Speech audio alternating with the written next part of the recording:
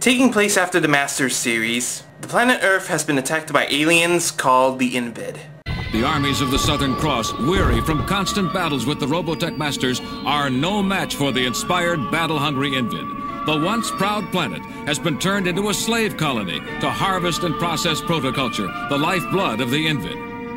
A contingent of interstellar ships from Admiral Rick Hunter's expeditionary mission, which was sent to discover the home world of the Robotech Masters, responds to the newest crisis on Earth a tactic which is hoped will be the start of an offensive to regain control of the Earth. Years later, the 21st Mars Division launched an attack against the Invid in space, but they failed, leaving one survivor, Lieutenant Commander Scott Bernard.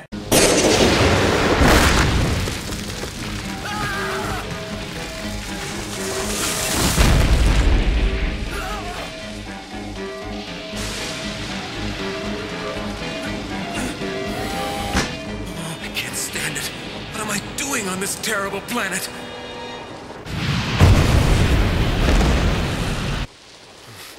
Oh, oh, Marlene.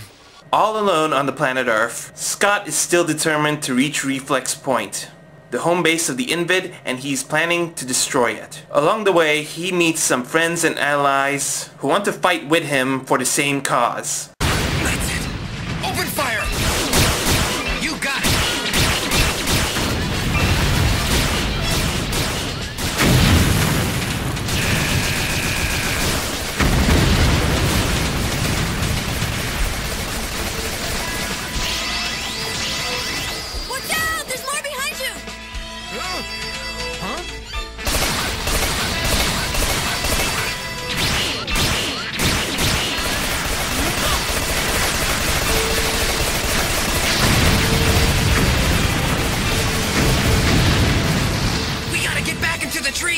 The direction of the Alpha.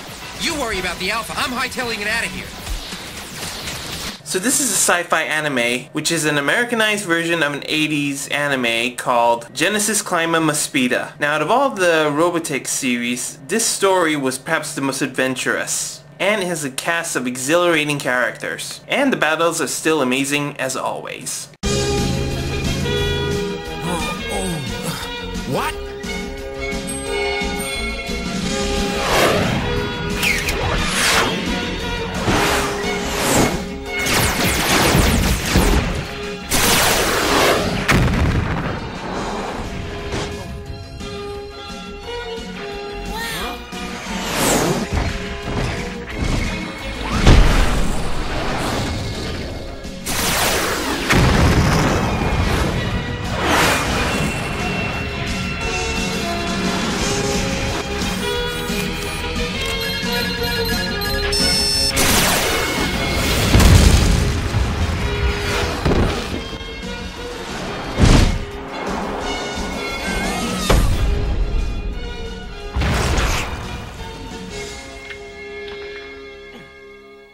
The animation in this anime has an 80s old school animation that is pretty similar to the other two Robotech series. But I really love the mechanical design. It is amazingly well done. Hey, do you really think you can catch anything with that funny looking stick? If you don't mind, it's a fishing pole, not just a funny looking stick. And yours truly is an expert. Just wait, you'll see. If there's a fish anywhere in this river, I'll catch him. Watching Tom Sawyer over there, you could almost forget we were locked in a life-or-death struggle with the Invid. I know what you mean. I'm starting to feel like we're at a Boy Scout picnic. The voice acting of this anime is in English only, and I have to say, out of all the English dubbings of the three Robotech series, this is perhaps probably my favorite. I mean, the voice actors in this anime really fits in well with their characters, and their voices really reflect their personality.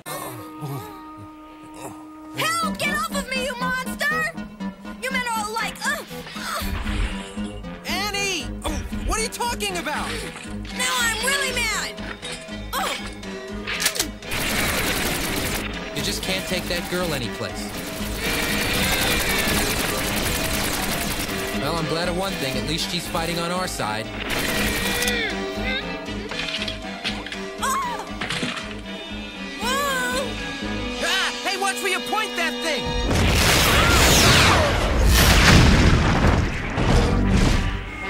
The music of this anime was done by Ulpio Minucci, and if you enjoyed the music from the previous Robotech series, you'll definitely still love this all the way.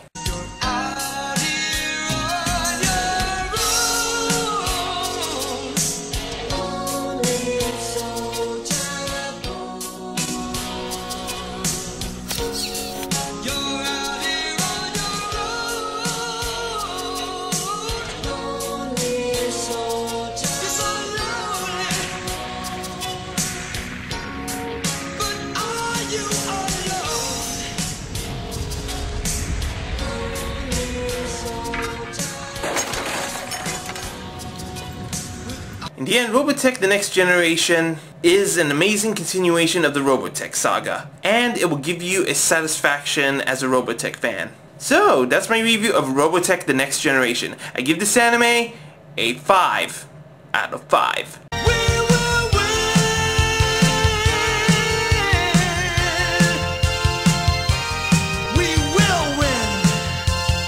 See ya!